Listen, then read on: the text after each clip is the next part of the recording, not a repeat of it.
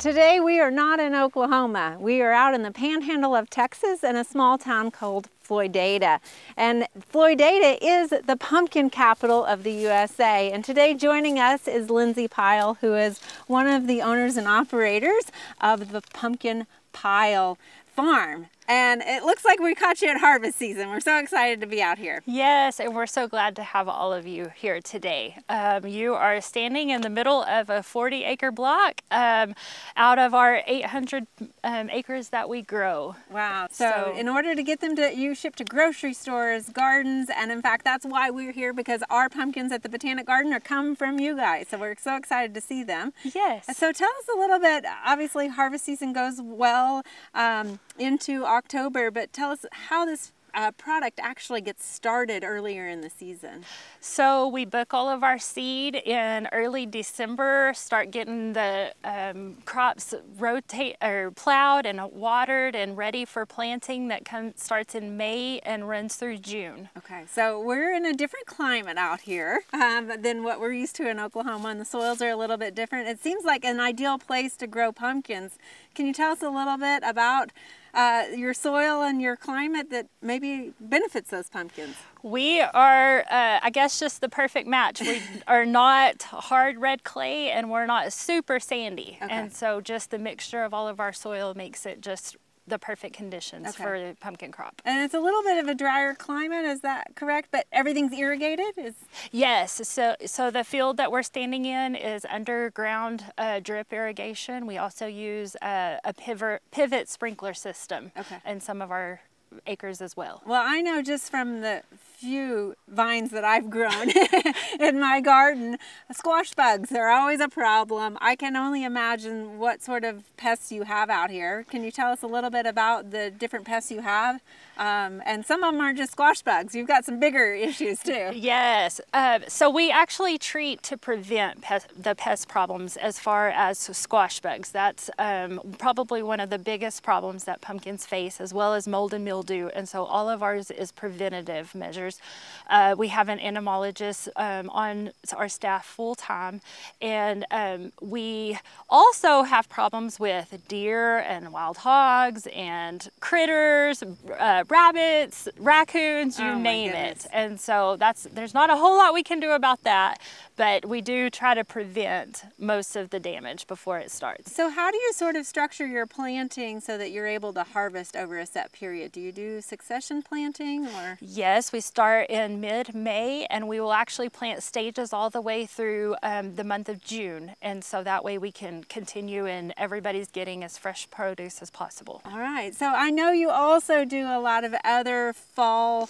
decorative um, botanical items. Can you tell us a little bit about some of those other um, products that you Yes, so um, we will ship uh, pumpkins, gourds, squash, um, ornamental corn, corn bundles, uh, two different sizes of hay bales. So we're the optimal or strive to be the optimal farm decor all in one bundle. All right, and you've even got that Indian corn that we need to go with our pumpkins as well. Yes. And it looks like the guys are doing amazing. I can't imagine throwing these. Is it all hand harvested? Is that? Yes, everything we grow and sell is um, manual labor harvest. Okay. So they work super hard to okay. get all of the the pumpkins out of the field as quick as they can. So Lindsey, can you tell us a little bit about the mechanics of actually harvesting the pumpkins out here? Yes, so again, everything is done by manual labor. And so as you can tell, um, we have a trailer that has already been ready to go. Uh, we're gonna get that to our warehouse as quick as possible. We have people that come in, cut the pumpkins off of the vine, um, and then as soon as they're cut off the vine, we need them um, in the shade and out of the sun and heat as quick as possible because it is fresh produce. Okay. So we have the people that come and cut the pumpkins, they line them up for our loaders, and then we have tractors and trailers that run through the field, load them up, and then we're ready to get them to town. Okay. So Lindsey, it looks like we have a lot of pumpkins already harvested. Tell us kind of what that process is post-harvest, if you will.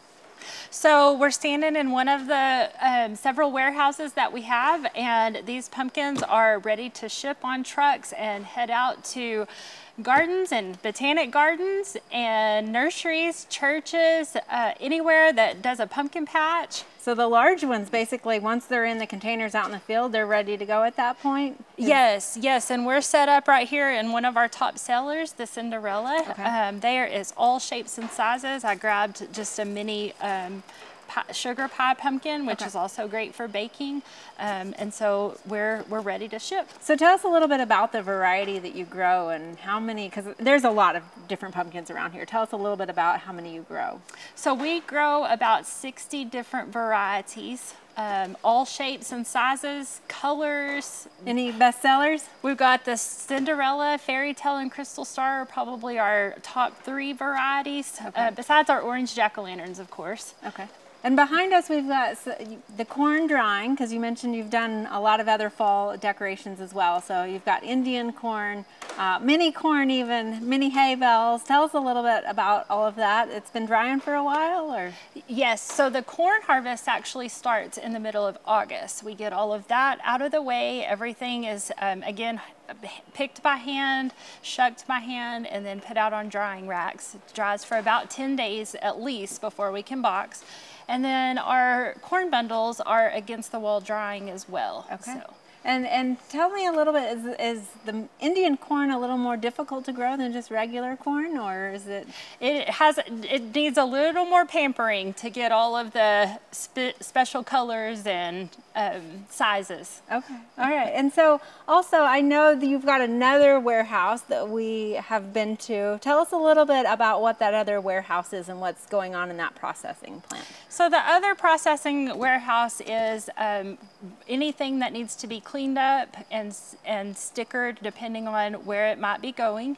Um, our little baby pumpkins you can hold in the palm of your hand. They um, run through a great big bathtub, uh, sprinkled with waterfall, and then run through a, a small car wash almost, and um, then graded and sacked and ready to go for everybody's Thanksgiving table. Okay, and they look beautiful. They look plastic. They are not. They're, not. They're 100% botanical. Yes. But do you wax them or anything to help preserve them? Or? We don't. Uh, we we sell obvious for uh, decorative, you know, but they are all edible, so they're just cleaned up and washed. No wax, no anything is put on them. Okay, and and I noticed some big pumpkins have stickers, some don't. Some are in uh, little gourds are in sacks, some are in large containers. Can you tell us a little bit about why that is? Just it just depends on what our customer needs are. Uh, The little bitty baby pumpkins will have 700 pieces to a bin, which is a ton of pumpkins for some, and Yeah. so we just sell them, you know, to meet every customer's need. Excellent. And again, you're a wholesale operation that is going full steam right now because this again is just one of your many warehouses that you have where you're storing the pumpkins. I feel like we've seen the whole process. Is there anything that we've missed along the way? So, fun fact we forgot to mention in the field is every pumpkin pumpkin you see that comes from Pumpkin Pyle has to be pollinated by a bee. And so the bee population and taking care of the bees is a huge deal as well for us. Yeah. Um, so, it all starts with the bees in order for us to have our fall harvest. yes. Well, thank you so much for sharing the story with us. Yes, I'm so glad that you were here today.